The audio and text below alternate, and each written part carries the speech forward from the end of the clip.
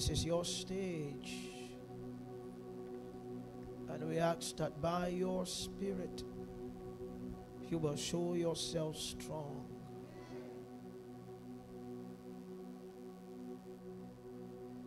You will show yourself strong. Thank you, Father. In Jesus' name we have prayed. Okay, please be seated. You will join me in 10 minutes.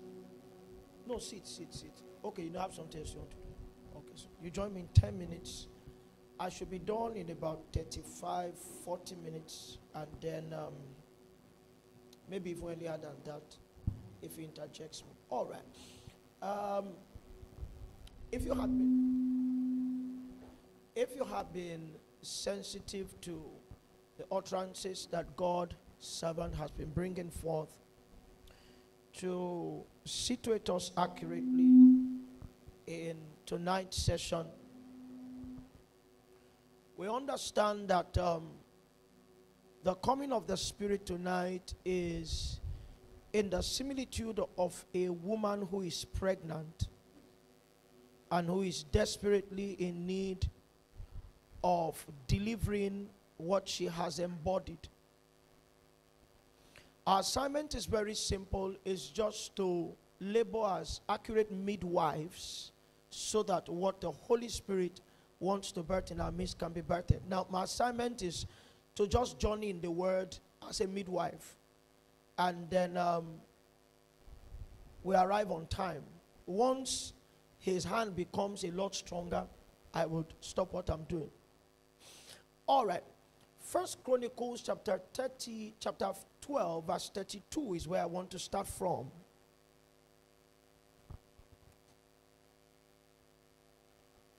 If you have been a student of scriptures, one of the things you'll have found out is that God, using a multi layered set of expressions, has sufficiently introduced himself to his people. It's as though God has an obsession not to deal outside a knowing so that um, 10 minutes oh, are you counting? Yes. So that um, even though the bible captures the communications of promises of prophecies of um, of the acts of god the bible was not complete until we were sufficiently visited with the knowing of god the revelations of god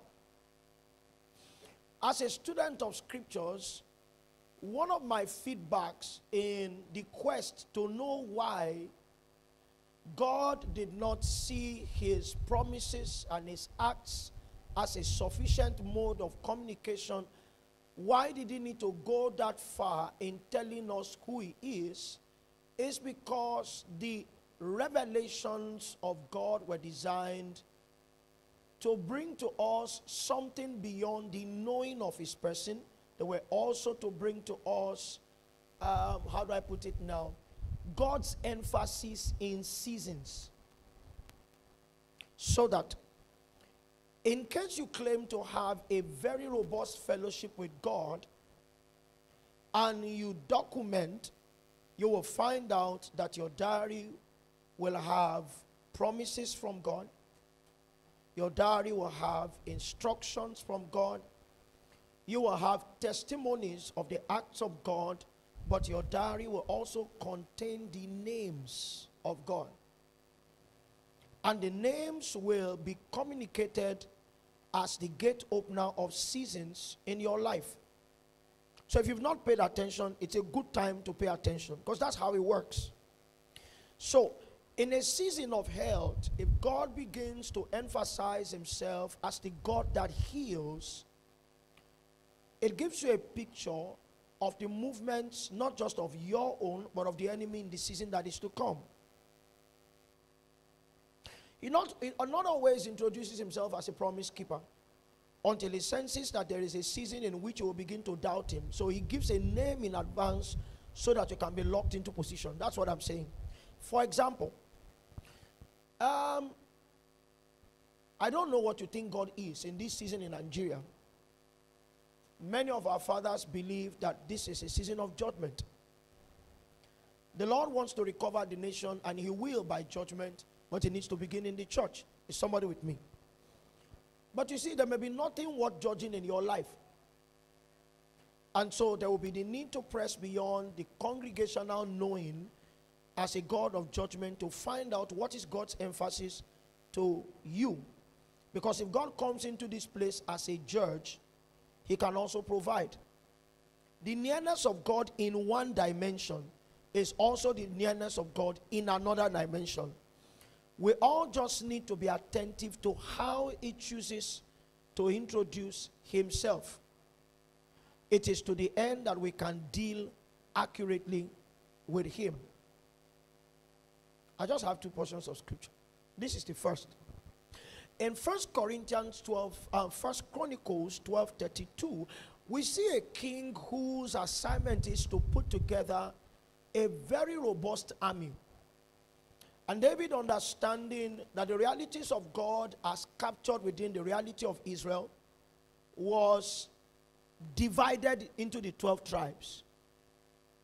What he did in mustering together his army was to pick men from all of the tribes in that way, his army will advertise the different realities of God that were embodied in all of the tribes. You will not understand fully what I'm saying until you take a journey back to Genesis chapter 49.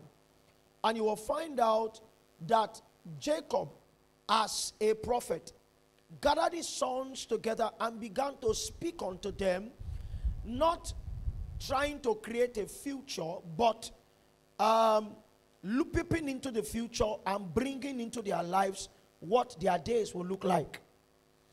In that layout, you will see the uniqueness of every tribe, including the one that was designed to have few men and to waste. It was as though none of the sons had the ability to do anything about what their father said. He had to take a man of stature like Moses to keep Reuben in existence. Is somebody with me? Now, this is where I'm going what he said to his sons became not just the reality of individual men, they became the reality of clans and of nations because Israel was like a 12 nation nation. Each of them advertising the uniqueness of the feedback of the blessing of their father.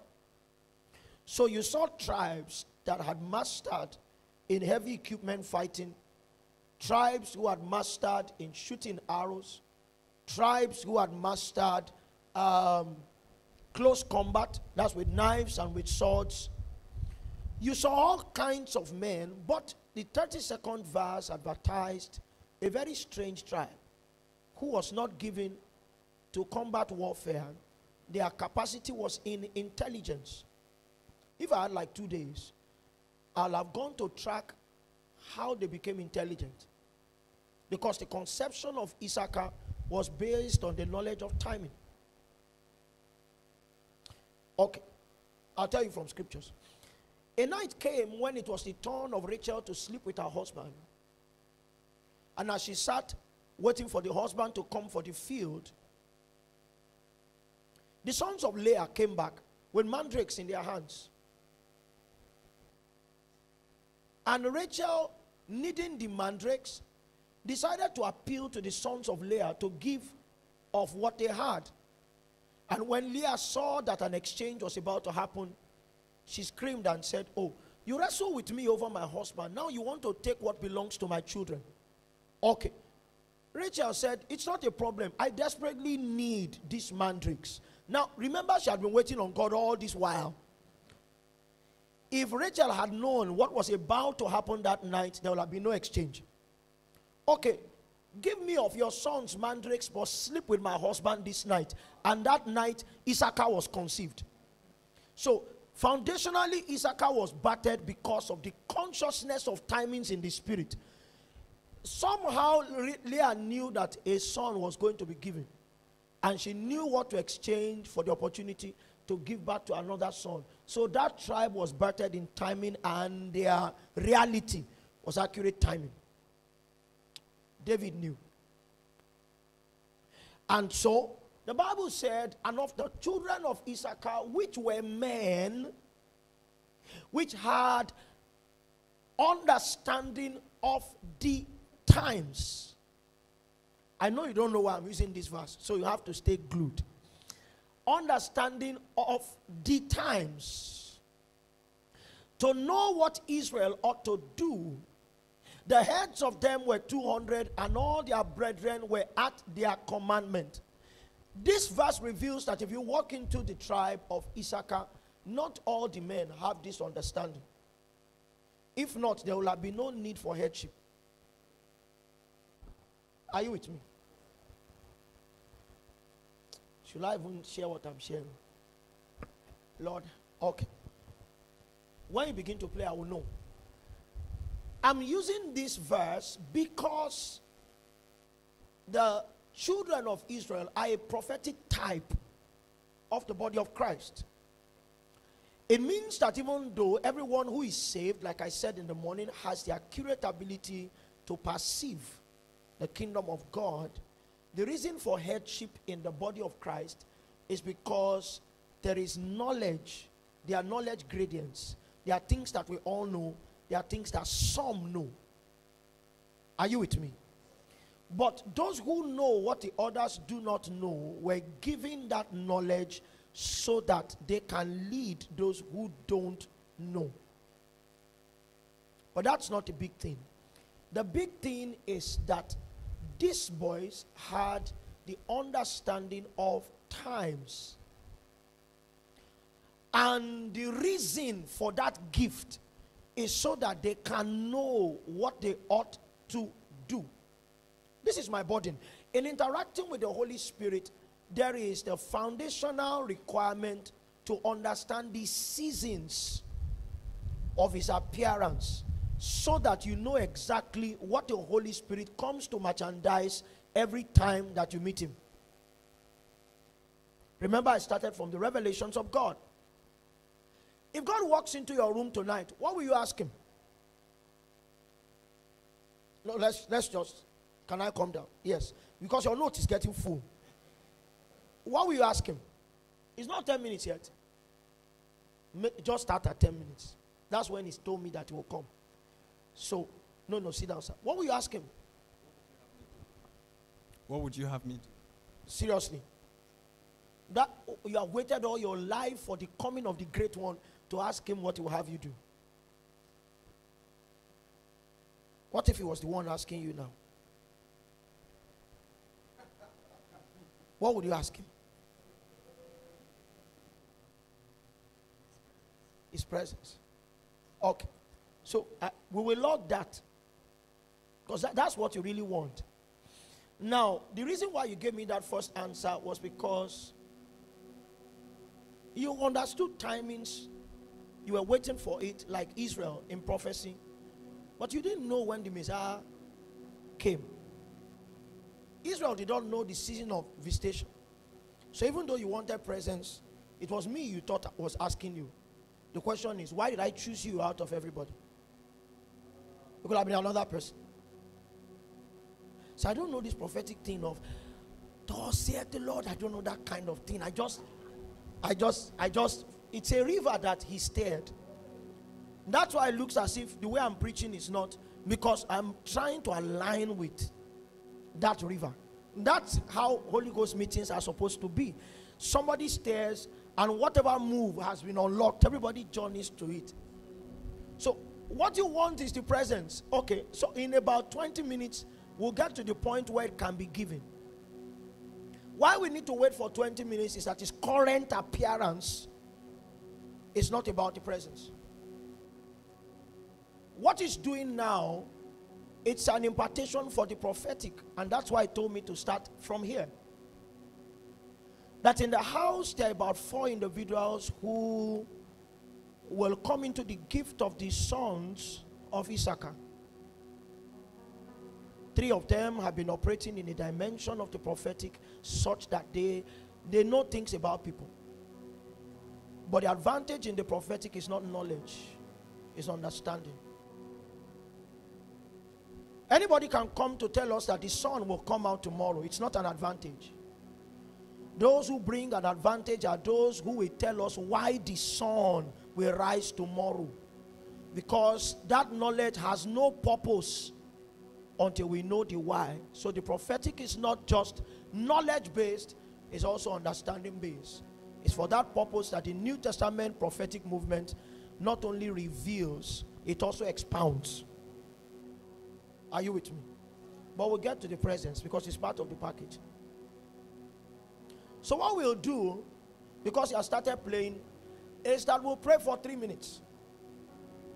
And in case you have been trusting the Lord for an entrance into the strength of the prophetic, that's what the Holy Ghost came to do. He carries on himself the name of God's emphasis. So, right now, he's manifesting as the prophetic spirit. Maybe I give you a verse of scripture. In John chapter 16, verse 13, Jesus introducing the Holy Ghost to his disciples said, Howbeit, when he, the Spirit of truth, is come, he will guide you into all truth. For he shall not speak of himself, but whatsoever he shall hear, that shall he speak, and he will show you things to come. That's how he operates as the prophetic spirit. So I want to pray in tongues for three minutes. You can be on your seats. This coming is just for four individuals, and then I'll get back into the word. Ote varano siso zeniako braseto bohande. Mibo se seto va ababo kiatos and ago kaboma madega abrade keva ke conte inegatedos genode tasa so pevio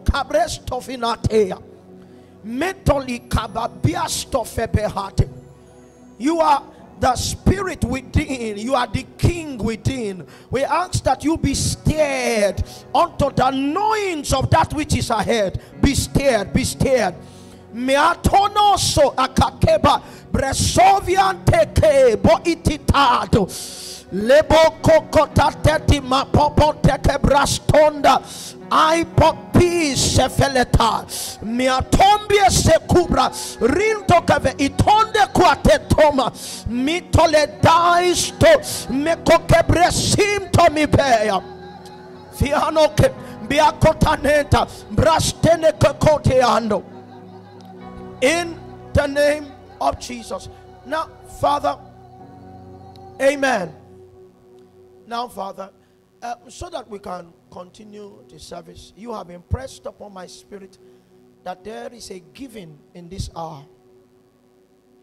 You will help me find these four individuals upon whom you are increasing the strength of the prophetic, and you are also bringing that extra one person into this plane of expression.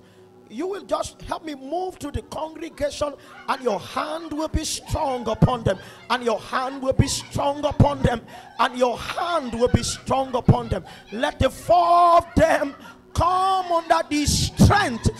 Cause zito tigle deboskahai. Pastor, you will help me lay hands on them. There are four. There are four. There are four. So his hand still moves and he's touching, he's touching, he's touching, he's touching, he's touching, and he is releasing the ability to know the future. Oh, Sibro Honokotale, Brensitom Berikariatahaya. I brought teletovie komietosine, mento hasetoa, mento kalisomai, mento kakepebreskota. Let your hand come stronger upon them. Let it come stronger upon them. Let it come stronger upon them. That their feet become dipped into prophetic waters. They will operate by a knowledge that is not sourced from any academic labor, nothing environmental, or routed from the realms of God.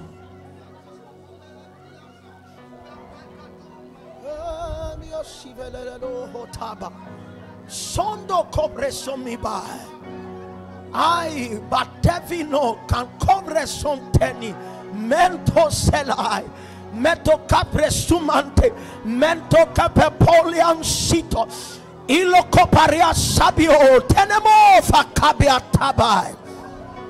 Eyes that see, ears that hear, a heart that is rich in understanding.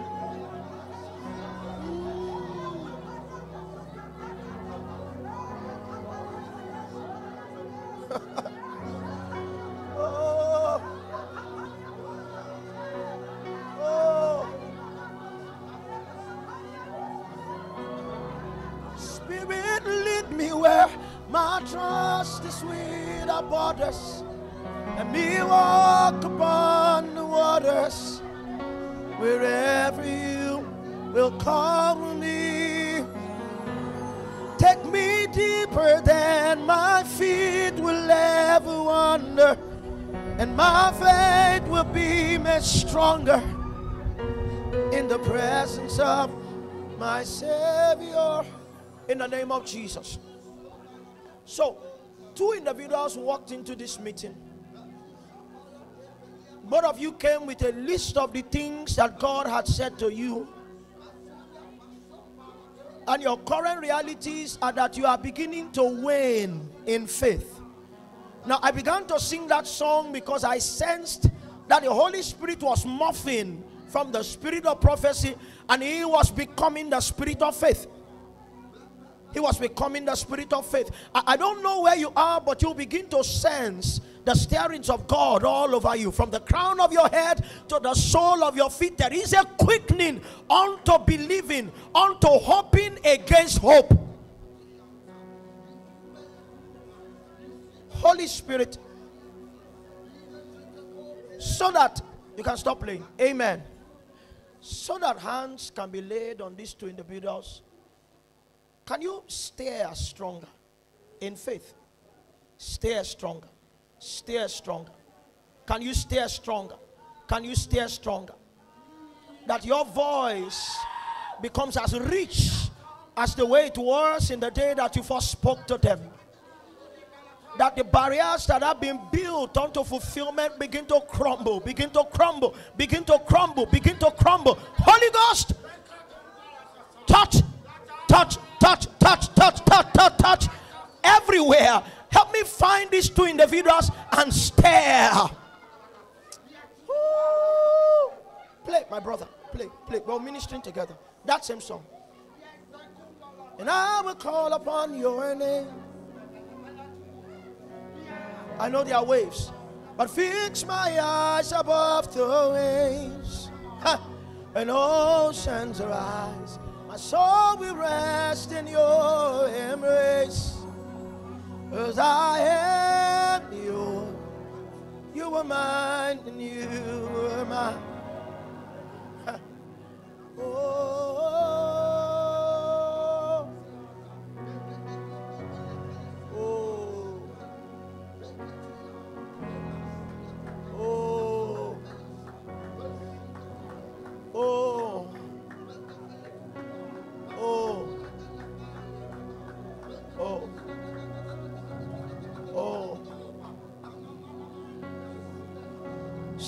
Mahavahaya.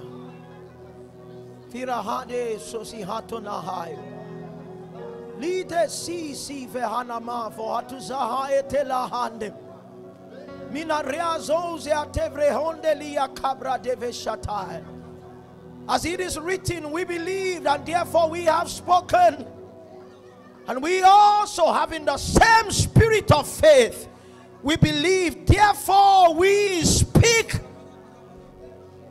it is done, saith the Lord. It is done, saith the Lord. The things that I said to you came from a, a region of fulfillment, and I bring you into it to work in the places you called impossible. To see time begin to align with the fulfillment of the things that I said to you, for it shall no longer be delayed, saith the Lord. I align man and time to see fulfilled the things I said to you. Did I not promise this year? I will fulfill, saith the Lord. I will fulfill. Thank you, Father. In the name of Jesus.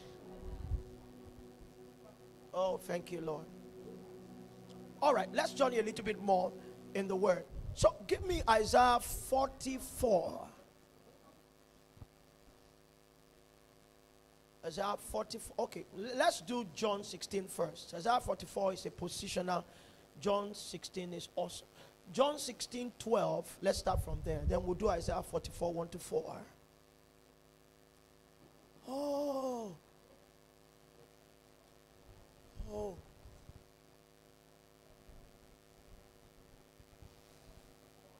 I have yet many things to say unto you, but he cannot bear them now.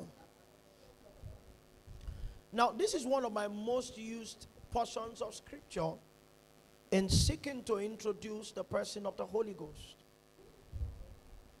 Broadly speaking, broadly speaking, the full knowledge of the Holy Spirit in these times is not domiciled in a truth. The design is that you know Him in the dimension of truth.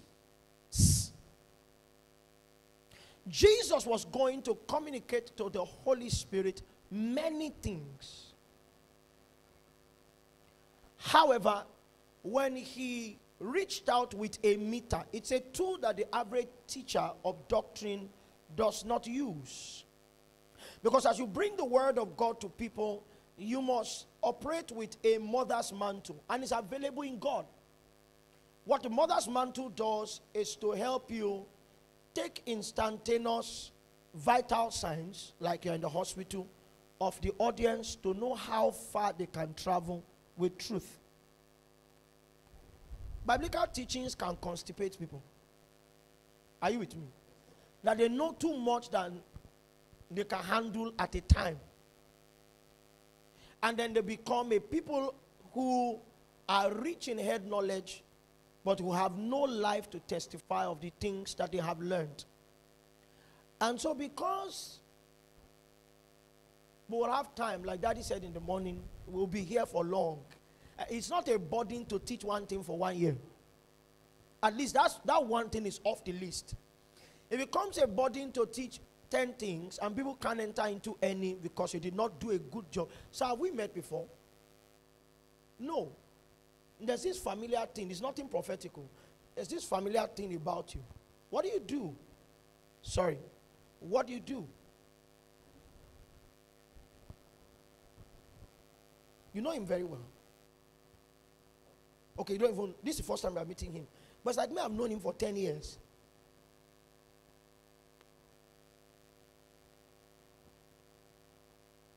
Okay. Um, I'll keep joining in my spirit. But it means that there's something that is there that is here. There's a fellowship of the familiar. That's what I'm saying. Not a familiar spirit. Too. Uh-uh. You, must, you must be clear these days. But what, what, what's your area of core area of ministry? Sorry, sir. I'm putting you on the spot. I, I honor you from my heart. But what's your core area of ministry?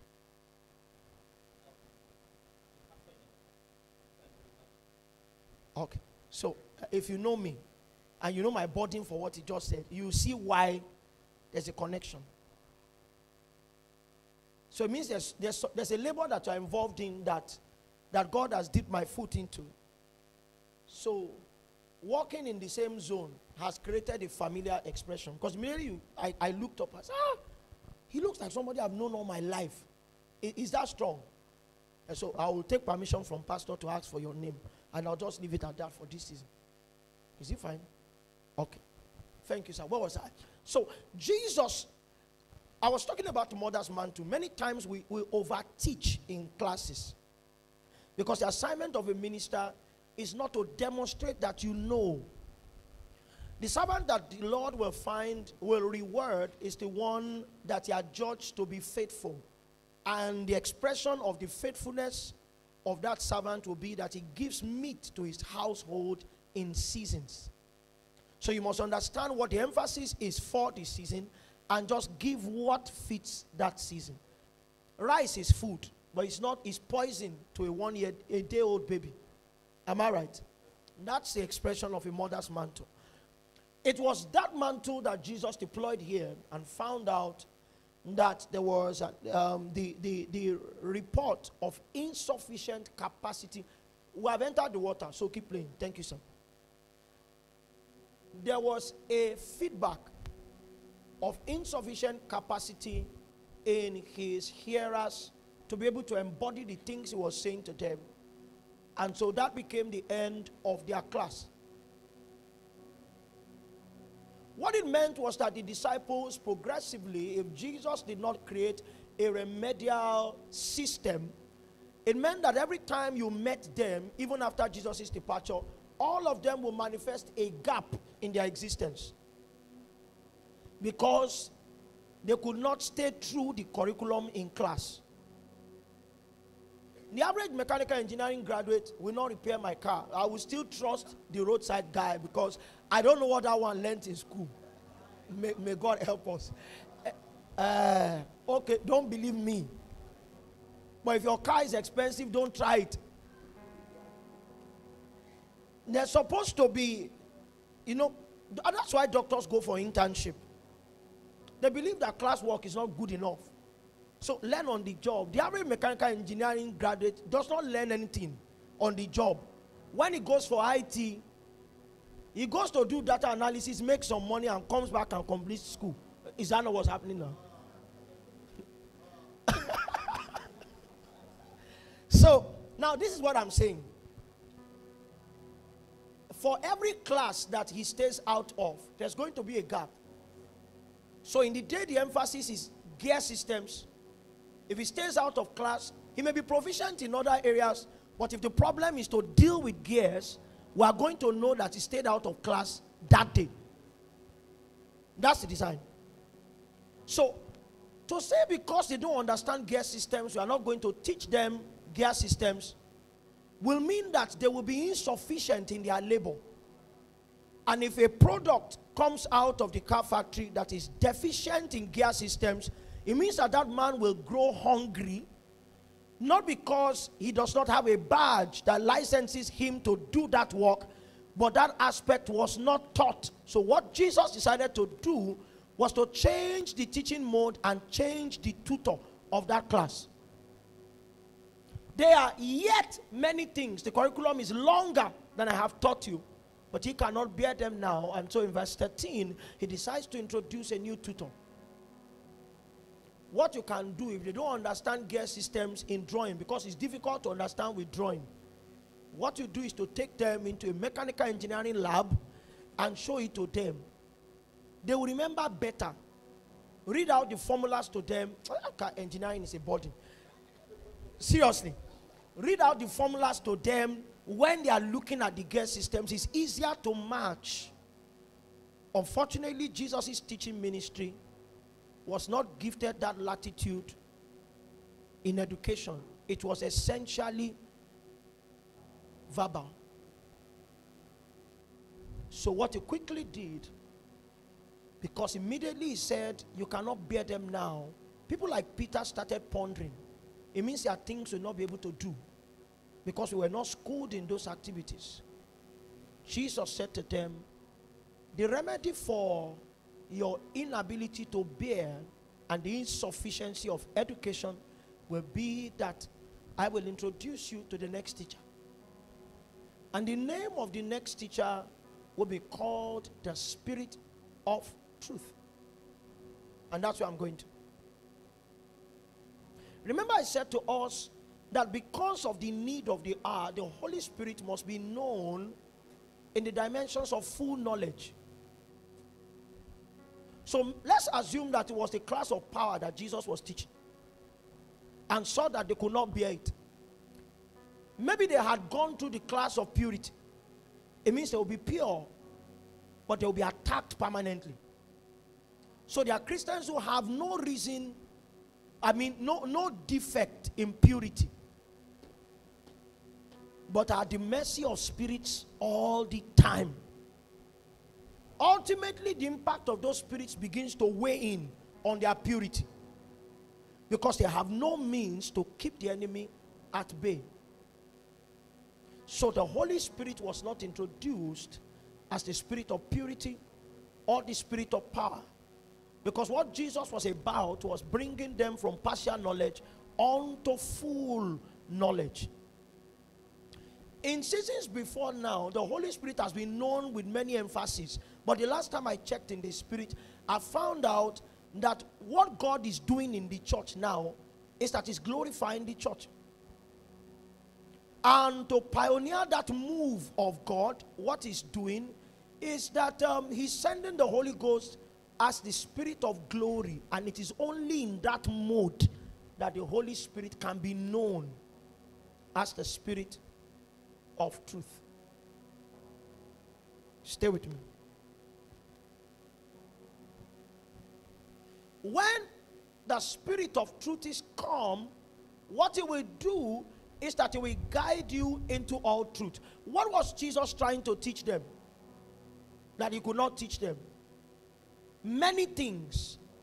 It means foundationally there is an, there is a relationship between the concept of things and truth. That's logic. If the problem is with many things, the Holy Spirit should be called what? The Spirit of many things. But Jesus substituted for many things and gave them truth. It means the concept of truth that the Holy Spirit is known for is actually the concept of many things. So when it comes as the Spirit of truth, he comes in his multifaceted fashion. And that's what we call glory. I remember in O level physics, there's one experiment I used to detest. I didn't know I needed the glasses until, until last year. I went to preach in Port Harcourt and I walked into my room and I saw the TV. It was. Uh, so I now told a brother who came with my host, he drove me in his car. And I said, Sorry, oh, what, what kind of TVs are they putting here? They now said there's nothing wrong with the TV. I said something is wrong. I said every hotel I've walked into, the TVs all have the same problem. The pictures are blurred. He now said, Well, I'm one of the heads of optometry in the teaching hospital. Can I bring my box? So he brought his box and slipped a lens into the holder and said, See. And I saw that the TV was clear. Oh, so so it's my eyes that has a problem.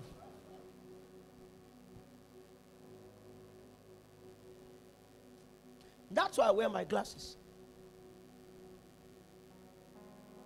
There's a possibility that the believer thinks that he can, he has a good grasp of everything until it happens upon a situation that he cannot manage, and then he needs to go in search of the one who embodies all of it. Are you with me? The truth is, the Holy Spirit uses your disappointments as gates of invitation. You don't know what you need from Him. You don't know what you need from Him until you attempt to do something and you find out that you are unsuccessful. Do you think there's anything that you lack? When you walked in, you are my specimen. Sorry, sir. Do you think there's anything you lack now? Now, as you are sitting down here, I don't mean at home. Nothing. It, doesn't look like you lack anything. Let me know you as an example. Those things always work. You step out in the morning, you're looking very good, nice shoe. You don't know you lack anything until you get to the bus stop and your shoe opens. Then you will know that you needed gum. If someone had tried to sell gum to you, you'll have said waste of money. Are you with me? So, one of the things somebody who sells gum, vulcanizers do it a lot. You find out within a range of 50 meters to 50 meters around the vulcanizer, there are nails everywhere. I used to pray, Lord, my tires like iron. That's what I pray when I'm passing through a vulcanizer. I don't, I don't want to be a victim. Because you won't go too far, you just hear. The man must eat. And we need to create a problem so that he can find relevance. That's what the Holy Ghost does. That's the only way he can practically bring you to the end of yourself. And then you now ask him, Oh, you are all of that. Please come and help me do this thing. That's what Jesus was doing to them. Have you been to church and the pastor is teaching and you're asking yourself, why do we need this stuff that he's teaching? Because you think he's too advanced. He's talking like he's in a seminary. Yes, there's a way life matures that you find out ah, that thing pastor said. That's the teaching ministry of the Holy Spirit. He uses our disappointments, he uses um, the expression of our weaknesses as gates of invitation to get more of Him. The good thing as the Spirit of truth is that He doesn't go back to God to bring the extra stuffs, He travels with you. So it's like a gunman in the bus stop. Bus stop. You, you didn't need him when your shoe was not open, but immediately your shoe opened, you looked around and he was there. It's better with the Holy Spirit because it doesn't come from there. He just rises from within. Are you with me? And presents the gum that glues your shoe. The question is can you make him rise? If it's all quiet and you feel lonely, is, uh, is there, do you understand the protocol for his ascension? Because the Bible says that he that believeth upon me, Jesus was quoting from Isaiah 55. As the scripture says, out of him shall flow forth rivers of living water. That tool that God uses to irrigate our lives no longer comes from heaven. The throne of the Holy Ghost is not there. If you look in Revelations, you find the throne of God and of the Lamb. But there are three in the Godhead. It means one of them moved. And he lives here. So it means the distance between you and your possibility is not there. The distance is here to the situation. But have you mastered how in a few minutes to let him come? That's what Pastor was doing. He was pulling out songs from his spirit because those songs are like vehicles. That's what ferries the Holy Spirit from within your human spirit and brings him into the situation and it comes alive. It doesn't take time and you need to master running that way without time. If not, you have too many problems to solve around your life. It must be instant. So what we do is that mm, there's a Yoruba adage.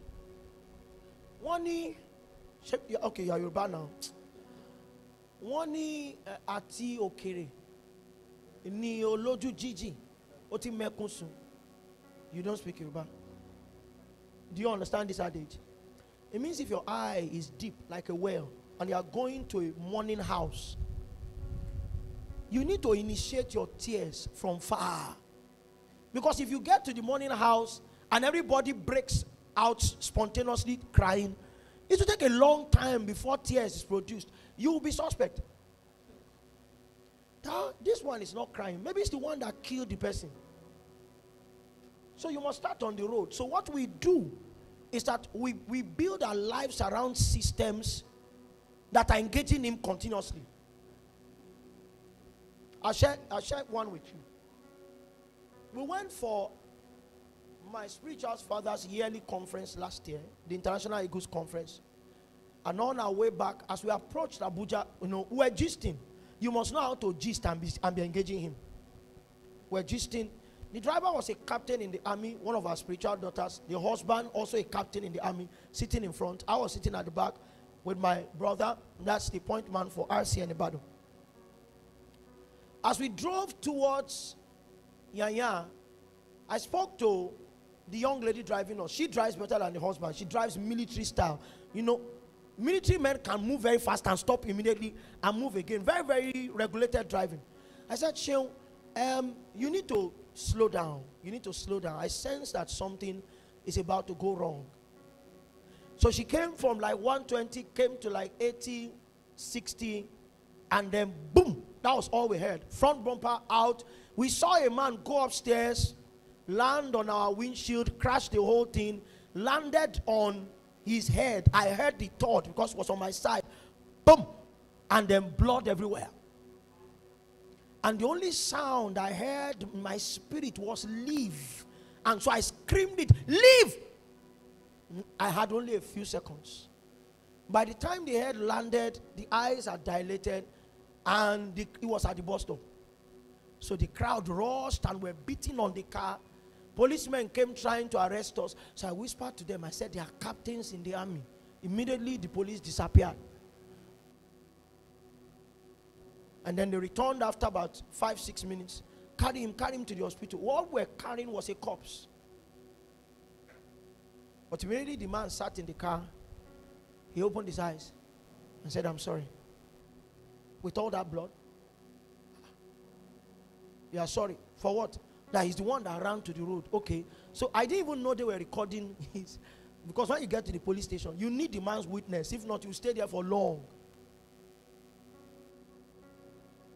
Getting into police trouble is like witchcraft. You, even when you are free, you are not free. Somebody will still come in and say, let him come back on Monday.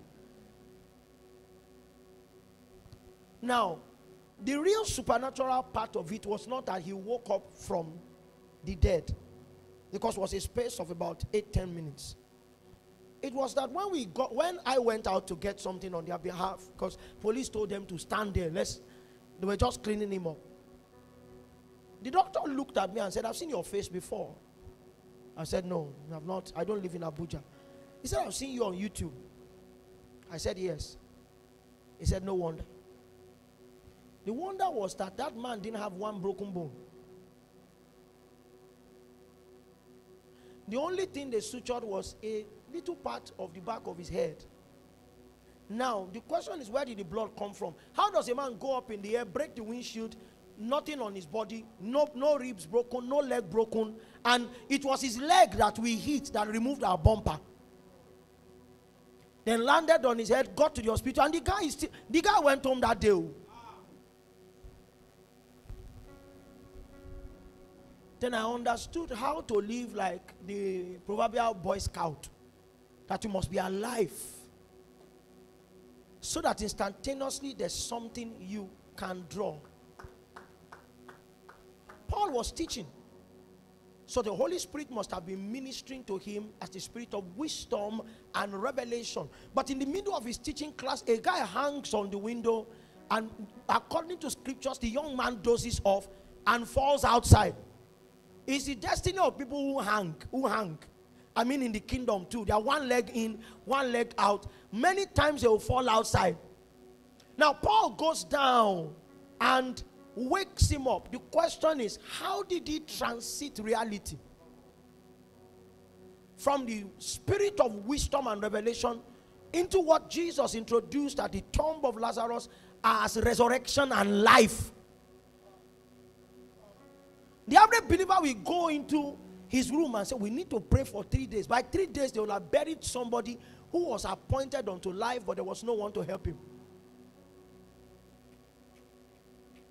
What God is giving is a rounded experience. It's coming as the spirit of all things. And that's the concept of the spirit of glory. I'll take you briefly into a, a, a, a physics class now. Our spiritual father was telling us a story. Was it him? I think it was him about a young lady who was sent to ruin a family. Small girl, about age seven. She came into that family as a maid, and then wealth collapsed. Wealth collapsed. It was a pastor's house. And after a while, they told her in the coven, make him sick. And so, in trying to make the pastor sick, she killed the pastor. You know, the apprentices in witchcraft too. That's how it works. So she killed the pastor. They now, the story now said that they now called the girl in the coven. We didn't tell you to kill him. We told you to make him sick. Oh, yeah, take, go and raise him up. I thought it was only on our side that we could raise up, but those possibilities are there too. Now, before she came, the pastor's wife had gathered other pastors and they began to pray. That was the problem. They were praying over this man, and their prayers had generated a covering a covering that did not carry the essence, the life-giving essence, but could preserve from the entrance of witchcraft. so this guy was coming back to raise the dead person because he had potential to raise, but the cloud did not give her access. And so the pastor died and was buried. If we do not labor for the full knowledge of the Spirit will create things like that. Because the simple thing they should have done is that the pastor should stop praying. Let the witch raise the. yes, now. Let the. Uh, God is doing what He's doing because His witness across territories has suffered. I was in Minna. And then the pastor was telling me about another church down the road that was serially robbed. And that they had prayed that in that church people get saved. It means the life giving essence of Jesus is in the church. They know the Holy Spirit as the Spirit of life. In that place, people get transformed. They know Him as the Spirit of transformation. But what they have cannot stop robbers from stealing speakers and stealing those things. So after they had prayed for long, the, the church pastor himself now told the elders, see, see, see, we, are, we have labored too much. There's a man down the road in the north, what they call a babalawo is boka. Now the boka down the road can solve this problem. Now, this the pastor told me that one of the elders stood and said, No, no, how will say, Ah, are you sure the man can solve? Say, 100% that man can catch a thief. Well, the Boka was invited. The church has three pillars in front, and the man did something on the pillars. When they woke up the following morning, the thieves were glued to the pillars.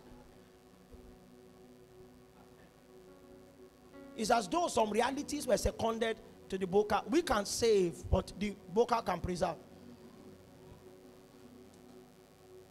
The gap is that the Holy Spirit is known in the context of a singular reality. He's the spirit of transformation, He's the spirit of our salvation, but He's not the spirit of our preservation. That's a gap in knowledge that has given the enemy the, the access to, to express. So if you are in this meeting tonight, you may want to take stock at your life because if somebody came and said, You need to know Him more, you're asking yourself, I know enough. He may be the spirit of prayer. And so when you pray, we think that you don't have needs. But your life is a testament that your prayer has not occasioned the supply of all that you need. So Jesus was not going to take chances like he will not take tonight. What he administers is the spirit of truth. And the assignment of the spirit of truth is to guide into all truth. So, what is the truth of God? In, John chapter 1, verse 14, John was gifted the privilege to extract Jesus. You will find out that if you are a good student of scriptures, the Gospel of John was written separate from the other Gospels. There was actually a reality of the Christ that John was willing to mask, and that was Jesus' humanity.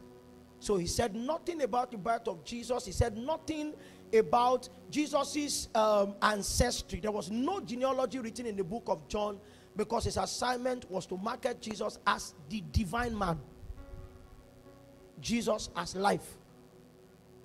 So, twice in John chapter 1, we see John go into a laboratory and return with a feedback of his research on who the Christ was. He begins by calling him not a man but a word. And he tells us that if we hack into you, what will come out is blood. If you cut into the Christ, what you will find there is life. And that, that life in transmission, like I said in the morning, becomes what? The light of men. And that that light has been back tested in the laboratory against every weight of darkness. And that that darkness cannot understand it, so it can't overcome it. In verse 14, he carries out another experiment. The word became flesh and he dwelt amongst us. And we beheld, that was the feedback of the research, his glory. The word glory there can be substituted with the English word advertisement. That if there were two men who lived on the streets of Jesus there was something that the life of Jesus was giving off that the life of the other man, no matter how pious he was, was not giving off. Because his glory was not as of the glory of a son of Abraham, it was the glory as of the only begotten. the true proof of paternity is an aligned DNA. So, what John was saying was that if you cut into God and you cut into the Christ, you will find out that everything that is domiciled or uh, by possibilities and existence in God is replicated in the Christ. That's why he called him the only begotten. So that the constituents could be given a natural reference, he categorized the things that he saw in the Christ in two categories. He said it was full of grace and truth. So, what is grace? Grace comes to us tonight as a coin. That's the cheapest way to define it. It has a upside and it has a downside. Now, the upside of grace, which is the head of the coin, is saving grace. And that's what we refer to as God's unmerited favor. That's what Titus told us has appeared unto all men. And that when it comes, it has a teaching ministry. Am I right? Good. But you understand that from Hebrews chapter 12, verse 28, there is another shape of grace that was advertised, which is not teaching and which is not saving. That grace is enabling. We, therefore, having received a kingdom that cannot be moved, let us have grace. And the purpose of that grace is that by it we may serve God acceptably. It means this dimension of grace is work related, not status related. So, what we call this is enabling grace or the supernatural abilities of the Christ. You know, we use that word like that in English. You see a man who comes and does things beautifully, you say, this guy is, is graced. So, there's that dimension of grace that is work related. So, grace has two sides. In the same way, truth has two sides. The first side of truth has to do with principles. So you find out that the teaching ministry of Jesus was largely expressive along the lines of the principles of the kingdom. The kingdom of heaven or the kingdom of God is likened unto, is likened unto, is likened unto. What he was trying to do was that by principles, people can become acquainted with the dynamics of the kingdom of God. But there's a second side to grace. And that's how the Holy Spirit also comes. It's called reality, experience. So if you take that word experience and put it back in our original verse, what Jesus was saying to them is that what you can't learn in a theory class, there is a spirit that is licensed to produce experiences. You can't bear mentally what I'm saying to you. So when the spirit of your assigned experiences is come, he will guide you into all experiences. There's an experience called power. I saw a WhatsApp video many years ago, about three, four years ago, of a young lady who was talking with a philosopher, a Roman setting, on the subject of power. So the, the, the, the, philosopher said, You know, power is, and was trying to define it. And the lady, being a princess, looked at the guards and said, Arrest him. And then they rushed and arrested him. Kill him. They drew their swords drop your swords, step back, and they stood back. She said, That's power. Eh, power is power. There's no definition for, for power, it's, it's just power. Are you with me? It's just power. If something stands against the move of God, we don't explain it away. You just introduce power. Once you introduce power, there's compliance, and then you move on. That's what power is. Is somebody with me? So power finds its true definition in an experience, not in speech. So what the Holy Spirit does is that it guides you into the experience of power. Some people think that it's difficult to be holy. It's difficult to be righteous. It's because you got saved, you were given a gift, but you thought that that gift was self operating. You did not know that the gifts of God are designed to find government in the person of the Holy Spirit. If you check my list of the names of the Holy Spirit is endless. Because what I have done is to build him as or, build on him as the administrator of every possible reality in God. So that if the need is for governance, it becomes the spirit of government. If, it's the, if the need is for fasting, it's by the Holy Ghost that I fast. My longest fast was 15 years and 8 days. And it was by the Holy Ghost. I, I just had a natural distaste, distaste for food. It may come in very nice colors and very nice aromas. I had an unnatural will to walk away. Even now, I'm still struggling to eat. So, young young man met me in one of the meetings. I said, eh, "You mean it's, it's possible to fast like that?" I said, "Yes, sir." So the young guy started fasting until his mom called me. I've not even met the young man before. I mean, we didn't have too long talk. We met in a meeting, got home, called, and I said, I, I didn't lie to you. That was how long before I broke. We break around 7, 8 in the evening, but it continued like that. Maybe it's why I have a small body, but it's good. Um, so it's the spirit of my fasting. So if there's church fast or there's personal fast, I don't lean on my ability to walk away from food. That reality is administered by the Holy Spirit. Holy Spirit, there's 40 day fast. Help me, help me, help me. That's how I wake up in the morning. I say, help me more than any other thing. And then help me is an invitation to this spirit to activate that aspect of Him in you. And then you keep moving on. If I get into the middle of the day, and until fasting is real, you will not know the power of the saint of, of popcorn. The ones that don't count, Satan doesn't disturb you. The ones that will change your life, I mean, ordinary granite, you'll be, you'll be like, you become like a bloodhound, sniffing. Where are they producing this thing? So that you can break the fast. If I find out that that invasion is being orchestrated in the enemy, what solves it is another help me. And then he administers the grace, supernatural ability for fasting so that that spiritual experience can be sustained. Is somebody with me? People say, okay, we, we just sang one line of a song and then you come and say, stop. God is saying, how do you hear that much? Hearing is a spiritual experience. But that experience was not designed to be forced by a man, it was designed to operate under the administration of the spirit of our experiences. So, I found out that spirits are strong when you acknowledge who they are.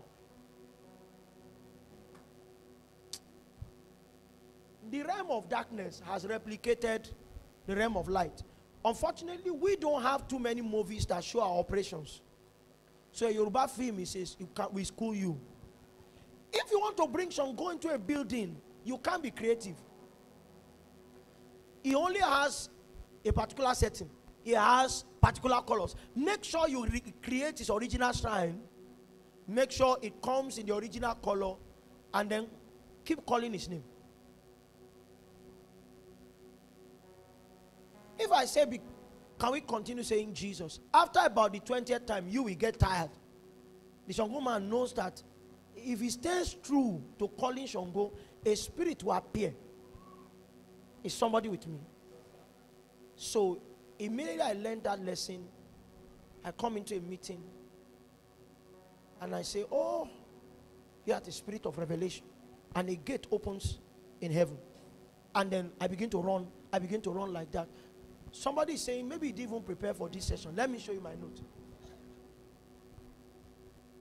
Let me show you my so that you know that I do due diligence, but there's a way here. Okay, so this is my note for this evening.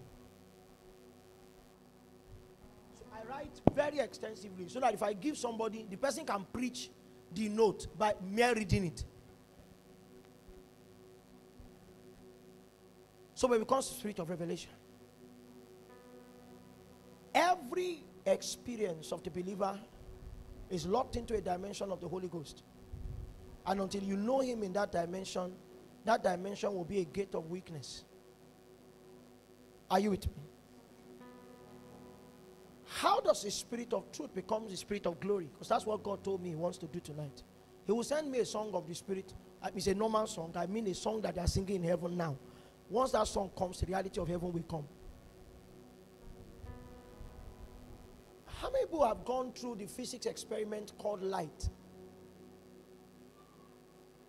Okay, many people went to art class. Okay. Does it rain in Lagos? Oh, yeah, now. Okay, so it rains here. Sometimes when the rain becomes dark and our hearts begin to go back because of the wickedness in the land to the days of, um, of Noah, there is the token of a covenant that God flashes in the skies. It's called what? A rainbow. Well, physics explains to us that the rainbow happens as a natural phenomenon. That um, the ray of the sun hits the rain clouds at a particular degree, I think it's 45 degrees. And then what it does, like it does in your physics lab, is that the cloud begins to function like a rectangular prism. So once the light hits it, it splits the light into its spectrum. And so you see all the seven red, orange, yellow, green, blue, indigo, violet. Good. So that's what produces the rainbow. But we know, according to scriptures, that was a token that God left. And because of the sweet smelling sacrifice of Noah, he was willing to lose out on one of his options of wiping out the world. No longer by water. He has fire, he has other things, but water out. Now, white light embodies all those seven colors. That's what physics tells us. So, in trying to understand the Holy Spirit as the Spirit of all things, He operates as a white light. However, there are seasons when there is a multifaceted expression of needs in the earth. To operate as white light will not be sufficient. So, the multifaceted set of needs give him the privilege of splitting himself into all of that. Is somebody understanding me? What I'm trying to do is look for a spiritual thing and domesticate inside a physics class. I'm saying that the rainbow is one white light from the sun. It's the density of the rain cloud that splits the light and then gives us that bow in the air. The Holy Spirit can come as red. Let's assume red is power. Let's say orange is purity. What other Christian experience do we have? Let's say yellow is wisdom. And it can be known as those individual names the spirit of wisdom, the spirit of power, the spirit of grace, that supernatural ability, the spirit of love, the spirit of hope, the spirit of faith. But you see, there are seasons where the divine emphasis is designed to capture a multifaceted set of needs. In that day, God does not deploy His Spirit in individual strains. He draws all of the strains of the possibilities of the Holy Spirit into one essence and releases them at once. That's what we call glory. It's the congregated advertisements of all of the humanly perceivable dimensions of God. That's glory. So if God can be perceived along a million lines, when glory comes into the house, it means God will be functioning in a million ways. So that everybody's unique challenge is sorted without saying now is power, now is grace, now is love, now is truth. He becomes the spirit of all things as the spirit of glory. The church has showed up in our days beautiful, but void of expression in certain aspects. And what God is doing to remedy the reputation of the church, which is by extension his reputation, is to deploy his spirit as the spirit of all things, the spirit of glory. This is a Holy Ghost night. I perceived as I laid down in my lodge, and thank you for the lodging, it's very comfortable. I think I should be coming to Lagos and be hiding my head there. One, that area is quiet, and there are no strange people around.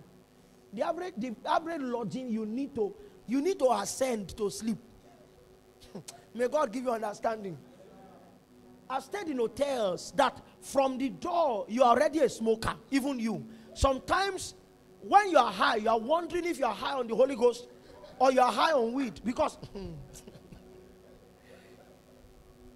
but but oh no no no no. I, what did I say to you, sir?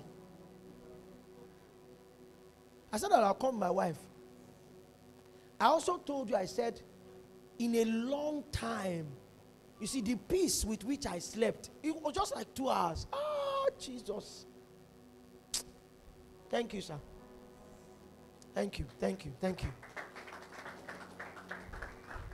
If it is good, I always acknowledge it. In case you're an itinerant minister, you understand that it's not always good. Though. Hmm. Uh, may God give you understanding. It's not, it's, it's not always, sometimes it's very bad. Uh, there are times I, they lodge me, and when they come to pick me, they can't find me. Because I have relocated to, to another place. So it might be two streets away to say, okay, uh, I'm no longer there. I've gone to. And mm, because Jesus said, when you come into a place, whatever they give you is what you should take. So we, you can't complain to say this place is bad, but in, let them know in their mind that this is not it. Thank you for the good place. So I'm saying to us that because the witness of God has suffered, not because God is no longer strong, but because of our inability to capture certain dimensions of God, the world now sees us as a vulnerable company. And God's remedial protocol is to give us again interactions with the fullness of His Spirit as a spirit of glory. So that every man's deficit is accounted for in the release of the glory. So I don't know what deficit you have noticed in your life. We would not have needed a Holy Ghost meeting if God had not carried out an appraisal, um, an appraisal exercise below our consciousness. That He walked into the room and checked to find out, I know you are sufficient in that, but are you also sufficient in this? When it comes like that, He doesn't tell us. And one of the things that that appraisal report must have revealed to him is that our needs are not, are not common. Every man has a different strain of manifestation of infirmity. And so, because we don't have too many services, what it does that it gives us the spirit of glory. So that every man who interacts with him will find a solution to his own deficit. That's who the Holy Spirit is now. That's the move that is pioneering a day of glory. The curtains are being drawn on the earth. That's why everything is collapsing. What we used to know as knowledge will no longer be sufficient. And the truth is, the degradation that is coming to our world cannot be matched with our intelligence. It will always be ahead of human intelligence. If you are in school now, school is a lie. Mm. Because the things you are teaching now can no longer pass. That's true. Because if your lecturer comes with, with, with a biology textbook that is uh, that, that, that was written in the 1940s, how to solve the COVID-19 is not there. Are you with me? Cancers were not this were, were not this this this expressive. There are many things that have crept up that are not there. Even if you are studying online, what they are teaching you has to do with a problem they are already solving or something they are speculative of. You need to be a son of Issachar to know what is far ahead. That's where the church is. I love this season. I shared with them last week Sunday. I said it's getting, or maybe Tuesday, I said it's getting darker in the world. Because I went to preach in the Lorraine. And I walked into a restaurant to buy food. And I saw all kinds of rice. And, well, because I don't eat too white and I don't eat too much, I know green rice, I know the one that Nigeria and Ghana fights on. I know that one. I, I know white rice. There are these tiny ones, um, no, ofada. No, sorry, that's the small one. The tiny one is the basmati. Now, but the basmati came in a brown shade. So I felt okay. Curiosity, let's let's let's eat this one. And you know, it's it's, de- it's well, it's the most decorated most times in the bowl. So I said, I want this one. And the young man took a spoon of rice, put it in a plate, and said, What else do you want? Ah. So I said, Who eats one spoon of rice? God bless you, sir. Who eats one spoon of rice? He says, Sir, it's expensive. Okay. So you, you have a meter to measure how much people can pay. Okay, because I walked in casually, I can't eat. How much is his phone? He said, Sir, it's expensive. It's 1,600. So my next question was, Are you a Christian? He said, No. I said, Okay. So let me school you. So I took him to Isaiah chapter 60 to show him that what is coming upon the earth is not as terrible as what will come upon people. Because it is darkness that will cover the earth. The earth is more fortunate. It is gross darkness that will cover the people. But that, that season is only one side, that annunciation is only one side of a coin. We were waiting for these dark days when the strength of man will, will die. And then suddenly, in the midst of the darkness, God will begin to rise upon the people. So I told him, in the kingdom where I belong to, until there's scarcity in that kingdom, there's no scarcity here. Okay? Serve me rice. Th- that's your job. It's not to it's not to help people measure. Last, last, if I can't pay, I'll join your workforce. May God give you understanding. But that day will not come. If I'm on his errand, he pays my bills. That's that's the that's the agreement. He pays my bills. So it's the day of the church. And what God is causing to rise upon his people is glory. But you see, that glory does not find fullest expression in radiance. What he's doing is that he's advertising. And if you're advertising, you come in all your bright colors. So that's what God is doing. Where every one of us becomes a specimen of the possibilities of God as captured in his spirit. That is the same man who demonstrates wisdom, who demonstrates power. When you look at the same man, is all of grace. That same man is also all of faith. And you think that because he's potent, it will impact upon his purity. When you check, you find out that he's still pure. Each of us, an advertisement of all of the colors of God by the same self spirit called the spirit of glory, the spirit of all things. That's the one that God told me to introduce us to. He said, when you get there, talk to them, tell them that it's a season of glory for the church. And so I am releasing my spirit as the spirit of glory. How do we engage him? Isaiah chapter 44, and then we begin to rise. Oh, secret kahata. Hear ye now, O Jacob, my servant, and Israel, whom I have chosen. Let's go on. Thus saith the Lord that made thee and formed thee from the womb, which will help thee. Fear not, O Jacob, my servant, and thou, Jeshurun, whom I have chosen. Next verse. For I will pour water upon him that is thirsty. So we are in another season of the outpouring. And if you have studied scriptures, you find out that the Holy Spirit is captured in operation or in, in appearance within the context of certain metaphors. So he's called the fire, right? In the context of water, it's called the rain. Sometimes it's called the flood. The Holy Spirit is also called the wind. And all of those metaphors as to give us an accurate picture of how he operates when he comes into a place. Now, what God is saying is that in this season, which I believe is this season, there will be a pouring. And what he will pour is water upon him that is thirsty. It means the one who wants to receive from him must find his way into the reality that is advertised. The man who comes to him must show up thirsty. That's why Pastor was saying, your expectations. I stopped praying that people should name their expectations because I found out that our minds don't travel very far. When you come before the Lord of glory, you cannot fully articulate what He will come with. So, in two minutes, my beloved brother, who is my co preacher tonight, went from what was his first request? From what do you have me do? You will think that it was Paul. That's Acts chapter 9. What will you have me do? And he ran back to to Exodus 33. Your presence. So he transited from Paul to Moses in less than.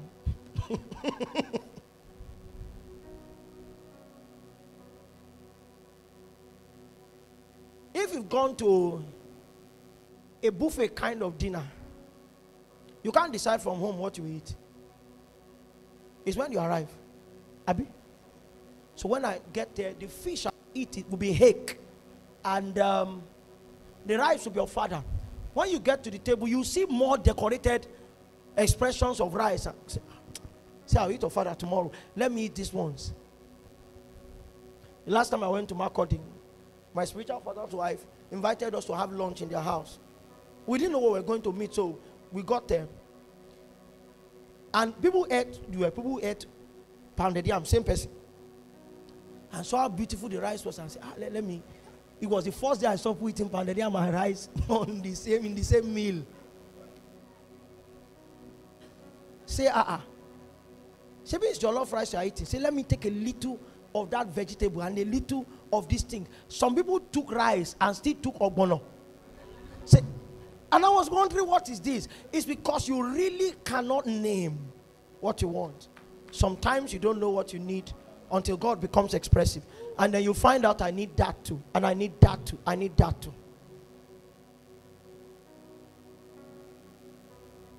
Glorious God, wonderful God, miracle worker, King of kings, omnipotent God, I worship you. Your majesty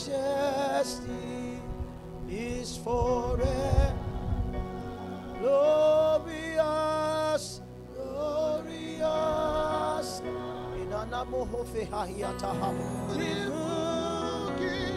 Oh, miracle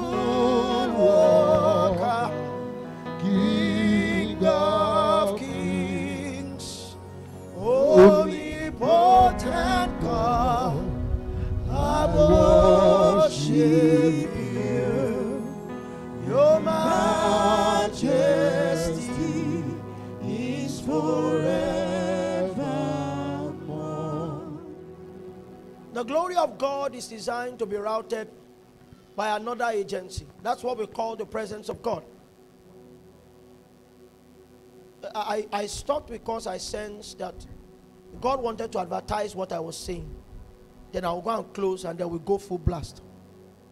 Um, so I said that the glory of God is stewarded by another agency in God, which is called the presence of God. You see, the presence of God is, um, spiritual and can only be known spiritually. So that it's possible for a man to say, God is with me, and he's the only one who has the signs.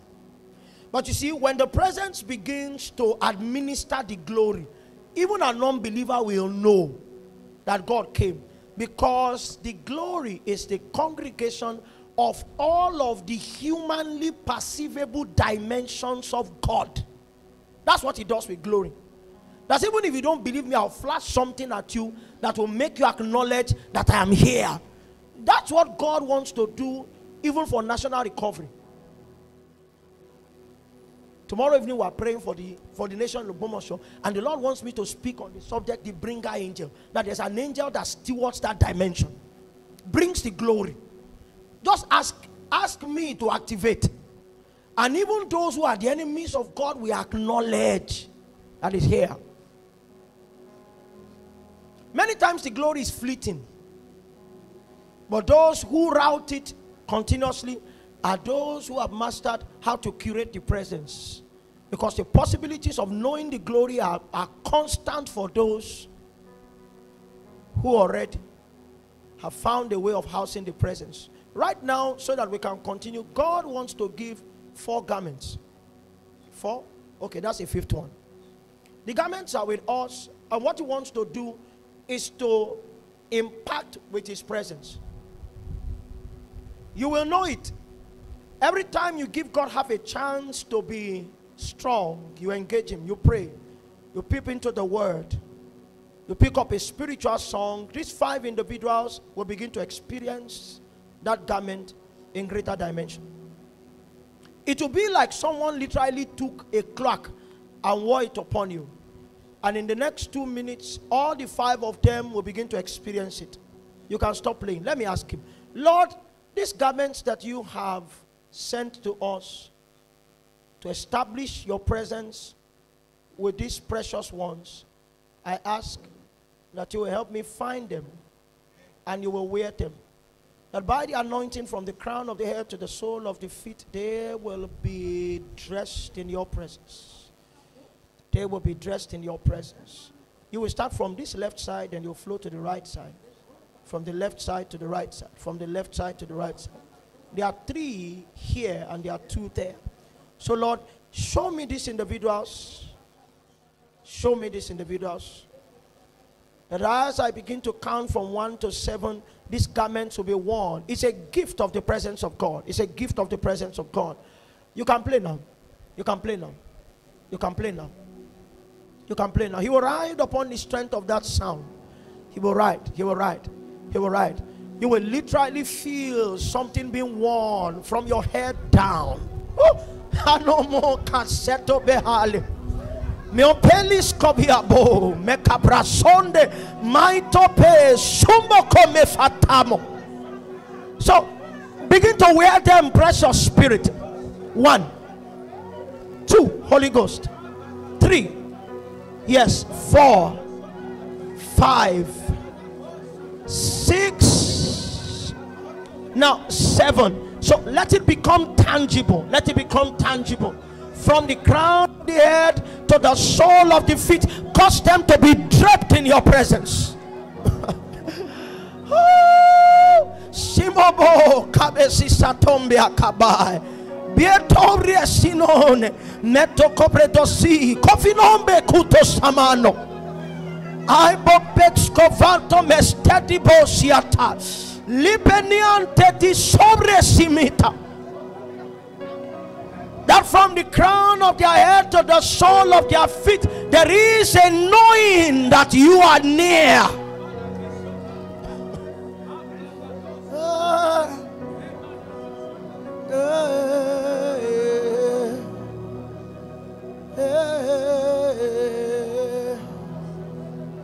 I worship you.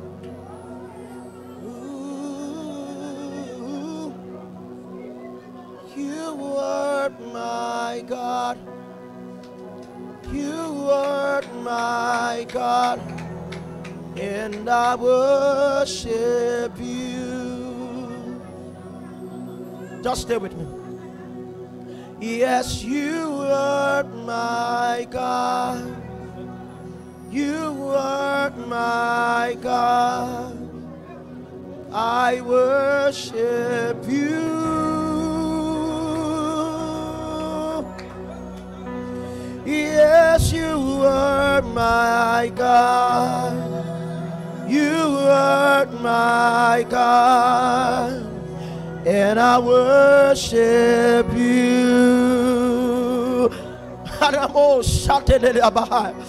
Yes, you are my God. You are my God. I worship you.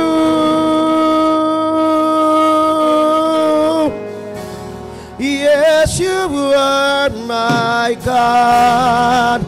You are my God.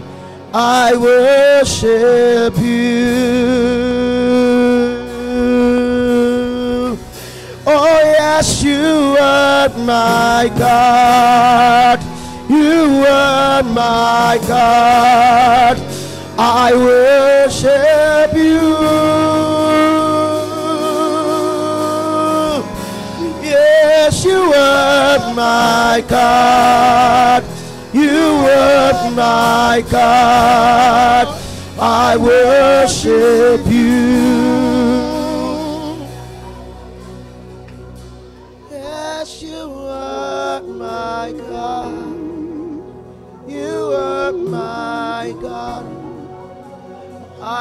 Worship you.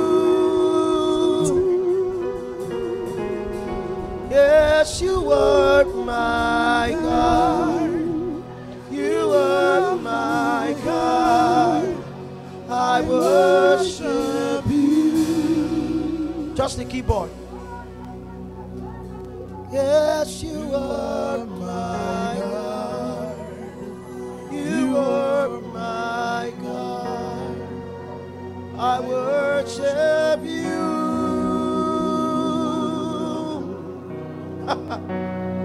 yes, you are my God. You are my God. I worship you. He clocks with his presence. Keep playing, keep playing. It was you that picked the sound from heaven. My, my assignment was just to find out what the sound was saying.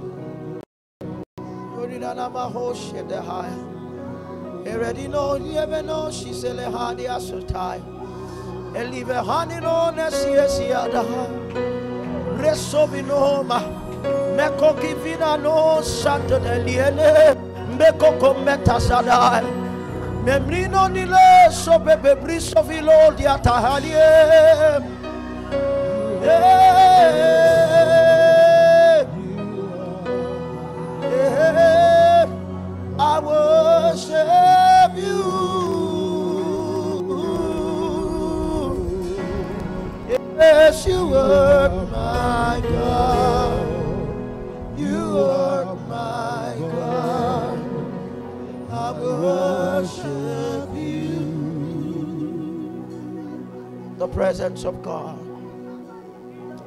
The presence of God. That garment that stewards the realities of God. I give unto you the gift of my presence. That's what I hear him say. You will wear it tangibly. And of that presence, there will be an effulgence of my glory. Yes.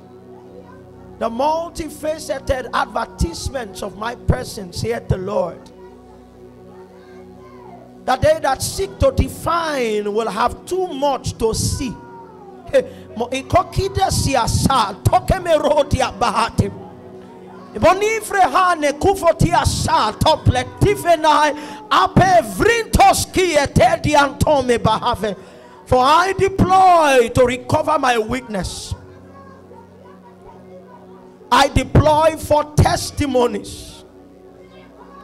For in the similitude of the shouts of the living creatures, holy, holy, holy is the Lord God Almighty. Your life shall be an experience of shifting reality.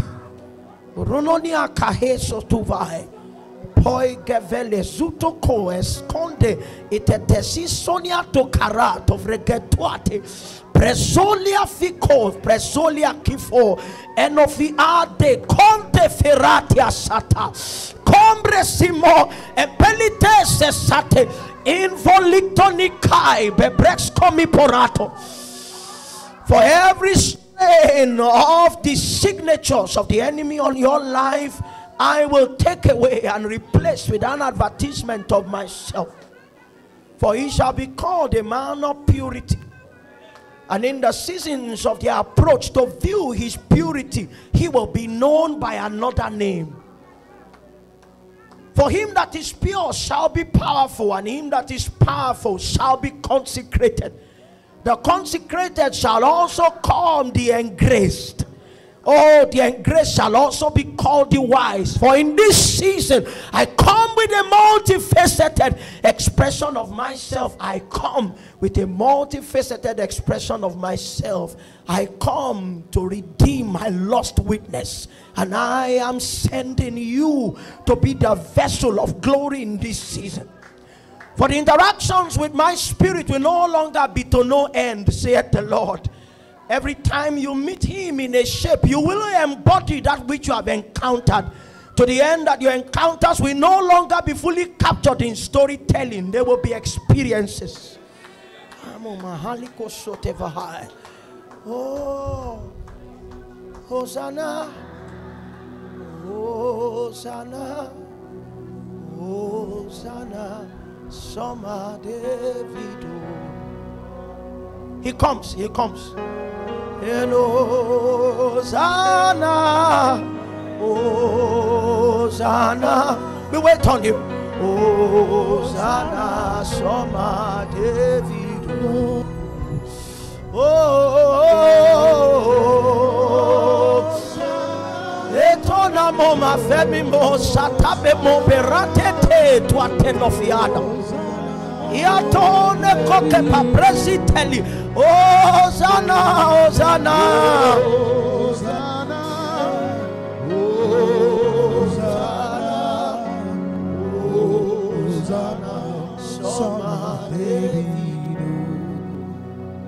For I pour water upon him that is thirsty. Water upon him that is thirsty. Is there anyone in the house today who came thirsty? It's a good time to make that confession before him.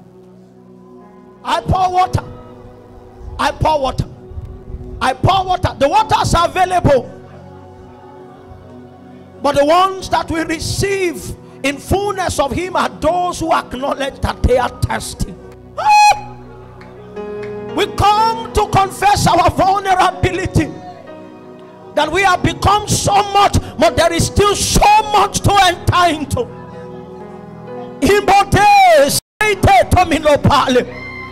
I kotidatai.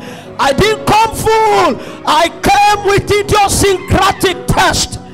This is me. This is me. This is me. Etinosito pepiria sominofe. I poglactocario se tuate kebabo. I came thirsty.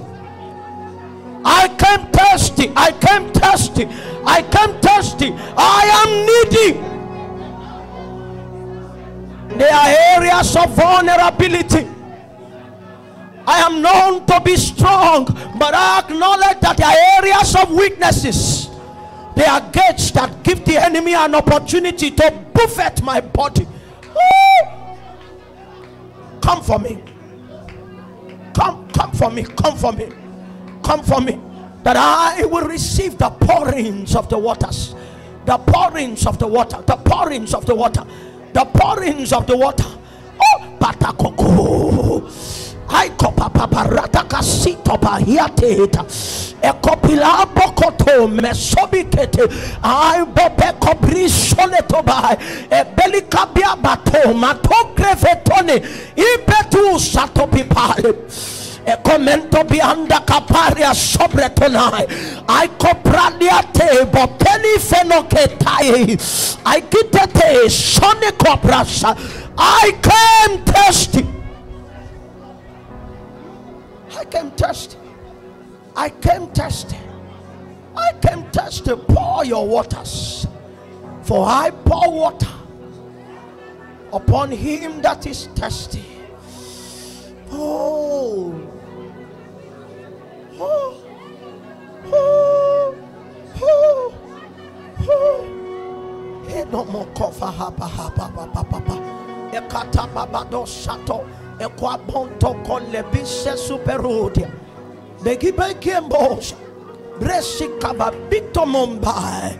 Fieto sute enavre henotoai. Eh.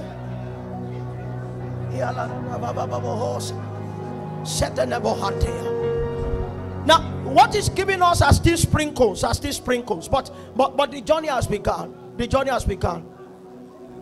Still sprinkles, but the journey has begun. So only a few can testify to receptions from him, but but it's about to become a flood. Oh Jesus! Oh Jesus! Oh Jesus! Imokoto shatalabahai. Yeah. For I will pour water upon him that is thirsty, and floods upon the dry ground. I will pour my spirit upon thy seed and my blessing upon thy offspring, and they shall spring up as among the grass, as the willows by the watercourses. It's a night of irrigation. The dryness around will no longer impact on the shape of your existence. He comes as a flood.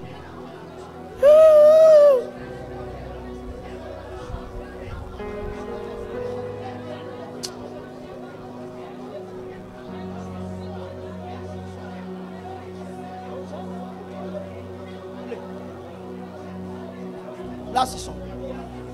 Thank you, Lord Jesus. Thank you, Lord Jesus. In Jesus' name we have prayed.